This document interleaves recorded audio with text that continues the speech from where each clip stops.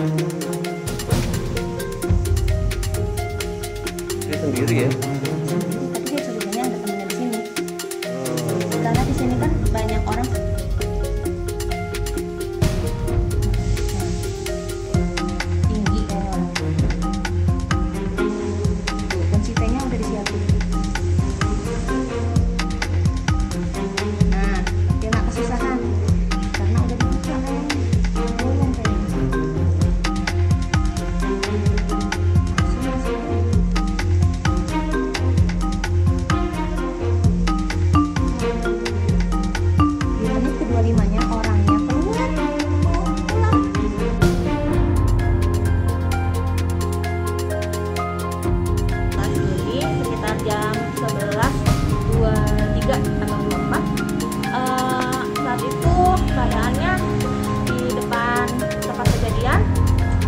motor dua Eh, adalah orang pakai baju jaket hitam celana panjang levis eh, rambut gondrong segini dia datang jalan kaki dari arah kanan eh, masuk ke dalam gang.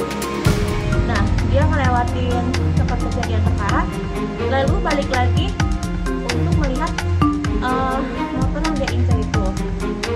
Setelah dia dapat yang motor mau diambil dia keluarkan dari dalam kantong saku celananya langsung sama dia di jebol itu apa kunci motornya. Langsung dia bawa motornya ke arah eh, yang sama dia arah datang dari gang ke kanan.